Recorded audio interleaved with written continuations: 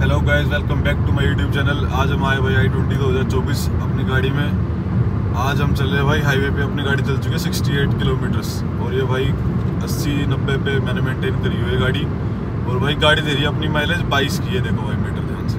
बाईस किलोमीटर पर litre Honda आई twenty में भाई बाईस किलोमीटर की एवरेज मिल रही है मेरे को। एक नंबर भाई, मज़ा आ गया बिल्कुल सही में। भाई आपकी एवरेज ना आपके पैरों के नीचे होती है। आप जिस तरीके से जिस तरीके से आप लोग पंजा दबाओगे, उसी तरीके से भाई आपको एवरेज मिलेगी।